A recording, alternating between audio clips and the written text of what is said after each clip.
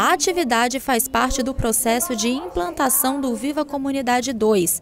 A nova unidade amplia e oferta atendimento à pessoa com deficiência, incluindo a atenção especializada aos autistas. A meta é capacitar aproximadamente 50 profissionais das suas unidades, fornecendo informações e conhecimento sobre as práticas pedagógicas que auxiliam no desenvolvimento e aprendizado do autista. Os cursos e palestras serão ministrados por Victor Eustáquio, pedagogo e coordenador geral da Clínica Somar de Recife, instituição que referência na utilização de métodos de ensino voltado à inclusão social das crianças com atraso de desenvolvimento e dos autistas. Temos aqui o objetivo de trabalhar com educação especial, no qual você bem colocou. Tem uma clínica em Recife que atende crianças com autismo.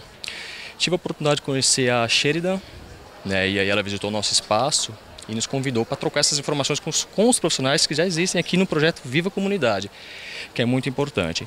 Então, como estou colocando, troca de informação. Durante o curso, os participantes irão conhecer três metodologias diferentes de ensino para os autistas, suas características fundamentais e técnicas. A capacitação inclui atividades práticas que serão realizadas no Viva Comunidade. Eu espero que venha melhorar a minha qualidade de trabalho, que eu possa estar investindo isso na vida do aluno, do usuário, para melhorar a vida dele também, dentro e fora, na comunidade, na família, onde quer que ele vá, se tornar um ser social.